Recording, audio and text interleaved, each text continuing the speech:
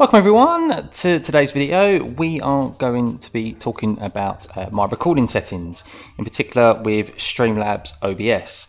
Now I've had a lot of comments um, asking me to display my settings. Um, I must admit I've never really looked too much into it. Um, I, I, know that I know what the basics are. I record in 19, 1920 by 1080 um, 60 FPS, and the quality of my videos are are good. Not everything is set to maximum, but yeah, I've done a little bit more research um, personally to put this video together for you guys, and I've uh, I've found some found some good details. So hopefully, we'll be able to help you guys get that nice, decent quality that we're all looking for. So to start with the basics, now as everyone knows, my channel is predominantly filmed in VR sim racing in VR. Now, what people may get a bit confused with is that what is actually recording is not directly from the image that I see within my VR headset. So, what you guys are seeing is yes, what I'm seeing within my headset, but that image is displayed on my monitor in front of me, my primary monitor, which is a 1440p uh, Ultra HD monitor. So the image that is actually being recorded is what's displayed on my monitor. Now with a VR headset, you can't see, it can't record both lenses at the same time. So it's either left eye prominent or right eye prominent. Now I believe with my headset it's left eye. Um, so that is generally what you're seeing is my left eye. Um, and what I'm seeing from my left eye is, is the image that you're seeing. Now the base canvas, as I've said, my Ultra HD monitor, that is the image that is being recorded. Now it is being downscaled into a 1080p resolution because I don't have a streaming PC. I record everything off the same PC, off the same GPU, and even though I have an RTX 2080, a very powerful GPU, one of the uh, most powerful out there at the moment, is only a couple of levels above it. That still doesn't allow me to record, display two images at once because I still need my my second monitor um, to display some form of an image, i.e. Streamlabs, and as well as my headset at the same time. That is a lot of processing power for my GPU, a lot of rendering um, that it has to go through. So yeah, unfortunately I cannot record in 1440p. The only way I'll be able to do that is if I had a second monitor, um, a second GPU or a uh, or a streaming streaming PC. One day, not just of yet. Um, I keep it at 16 samples. That that gives me a nice, decent image. Um, integer FPS value, um, so that it just allows you to determine. It's just one by one basically uh, frames. So I could turn it up to 61 frames, 59. You can change it to um, fractional, so 55.5 frames if you want like a specific frame value. Because a lot of the time, if you're struggling if to get a decent image quality or you're getting stuttering within your re recording, um, it's probably because your GPU is at maximum and there's no little room for it to to, to record. So what you have to do is, is kind of playing around with the settings or works in, works in correlation with the settings within the sim that you're racing.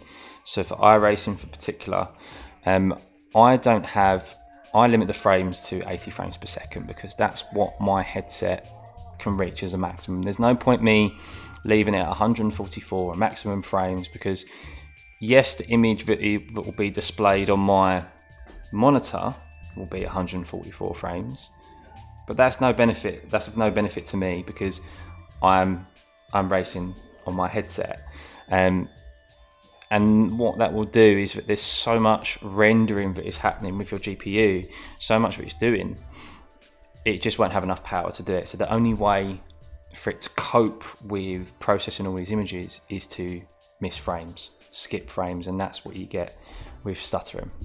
So uh, we get over to the advanced settings. This is where all these settings are going to make a big difference to your image quality. So you need to get these right. Of course, they're going to be um, subject to what GPU you have and to the power of your of your PC.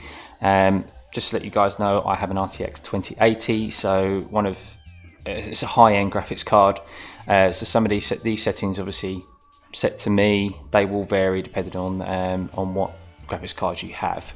Uh, so we head over to Output on the left-hand side and go over to the Recordings tab. Now, as we come down, the first couple of settings are pretty basic. Um, there's only one type, which is standard. Recording path is where you want to save your videos, uh, what folder. MP4 is just a standard, standard video format. Audio track, leave it one. Now, as we scroll down, as we get to recording and down, this is where it's a little bit more juicier. Now, there are three encoder settings under the recordings tab and that is X264, NVENC, and NVENC New. Now, I use NVENC New as this is the encoder specifically used for NVIDIA graphics cards and created by NVIDIA. This was released, this is a more highly optimized and newer version of the NVENC encoder um, that they released in conjunction with the RTX cards coming out, which was which is their new model of cards. So if you have an NVENC, uh, NVENC if you have an NVIDIA graphics card, click NVENC New because what this does, this uses your GPU to render and create frames and images rather than your CPU, which is what X264 does. X264 uses your CPU and you don't want to put too much stress on your CPU. It is the brain of your PC. It's very small, and for something so small, it costs a lot of money. So you don't want to to burn that out and put too much stress and pressure on it because it will just fry fry it. Um, well, consistent use will just fry it. Um, I don't want to scare people, um, but yeah, consistent use will just fry it, and you don't. It costs a lot of monies to replace, and unless you're uh, unless you've got a lot of money put behind. Um, you, you, don't want to be doing that. Uh, there are some. It was a great website, or a great uh, link actually that I will put in the description below that Nvidia have on their website, and it is a recording streaming guide, OBS guide. Um, I will quickly show you it at the end of the video, um, and it explains exactly what all these settings are, what they do, and it goes into so much more detail than I'll I'll ever be able to to go into. So definitely worth giving it a read over. Now, as we move on, we have constant bit rate. This is what CBR stands for. Uh, this I, I like to have this at constant bit rate because I don't like the data that's being transferred. That's what bit rate does it's at the level of data that is transferred across. I don't like like it to fluctuate because that can affect my my frames per second. Um, it can affect the, how much power is being used through the GPU, and I just know that I'm going to get a good image quality as I'm currently doing at this moment in time. Now, NVIDIA says you can use a variable bit rate um, of up to 40 to 60,000. Um, as you can see, I've got this set to 15,000, which is what um, YouTube's recommended, I believe. And a higher bit rate, technically speaking, should give you a better image quality. But what it does, it also increases the site, the file size. Um, so as a as a base example, um, where a 10 minute video would be one gigabyte, it goes up to two and a half, nearly three gigabytes. But I, and technically speaking, that should give me a better image quality. But all it does is give me a increased file size that takes longer to render and edit and upload onto YouTube. It just adds to inconvenience, and I didn't see, um, I didn't see a an increase in image quality, so it just wasn't worth it. So I leave that at fifteen thousand. Um, yet again, probably one to play around with. If you don't have an RTX 2080 graphics card, I would try turning that down um, and seeing if that creates if that creates a better image quality for you. Um, and it should take less stress off of your GPU because you're transferring less data over. Now, keyframe interval I have set at zero. Um, I've never played around with this setting. Zero works for me. Presets. Now, the preset I have is for max quality. Um, I want the best image that can possibly be displayed and recorded, hence why I have this at max quality. You can maybe put it down to quality, which is higher quality, um, if you're if you're struggling um, to get a, a good FPS, um, and, you, and you're suffering stuttering within your videos, maybe turn it down to quality because you don't likewise all of these settings work within conjunction of the settings within your sim racing um, within the game that you're playing. Um, you may not be able to have all of these settings set to max or to high. Just like within just within sim any game you can't have all the shadows set up to higher because it takes so much puts so much pressure and processing power on your GPU that there is no room left for your GPU to to, to produce produce an image and to produce frames. And the only way that it can do that is by skipping frames which is then where you get the stuttering and you get the within the image. Now as we move down I have the profile set to high which is what NVIDIA recommends. You should never have it main or baseline. Um, look ahead I have this unchecked. This is mainly should be checked for slow moving games like Minecraft or Total War games. Um, sim racing is not a slow game. It's very fast paced. The, the world around you is forever moving. You are always moving. Um, so you want this unchecked. This works in relation to maximum B frames. Um, so yeah, leave leave that unchecked. Psychovisual tuning.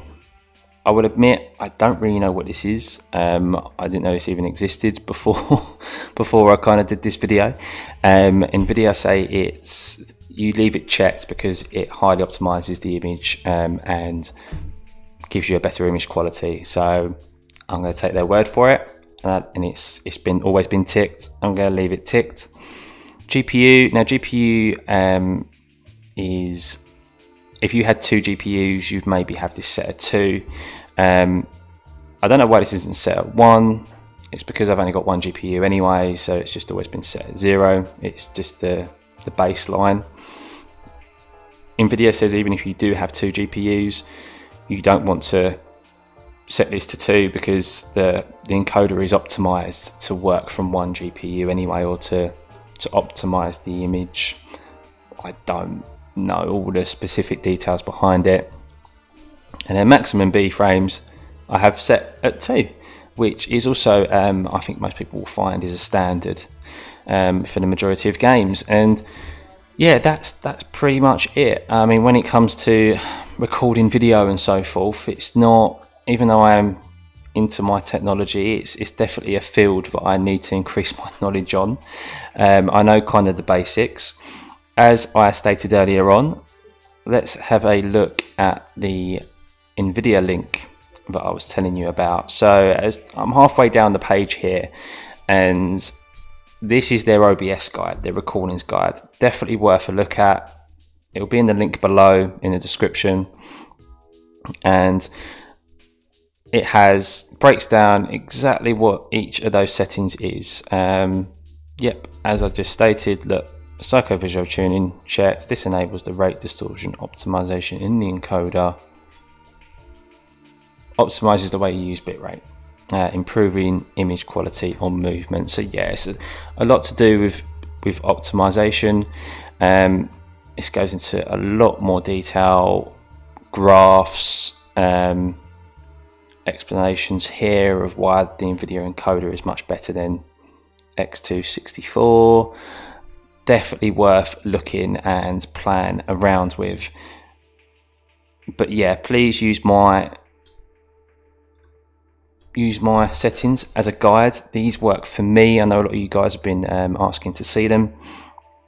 I'll try and answer as many questions as I can in the um, in the comments below. I am going to go away and I'm going to do a lot more research into this as well. Um, but yeah, you guys seem to be happy with the image, the quality of image that I'm recording and producing, and long may that continue. I hope I can get you guys producing good video images too and good recordings too, and I hope this helps. Remember to hit that like and subscribe button, guys. See you again soon. Bye.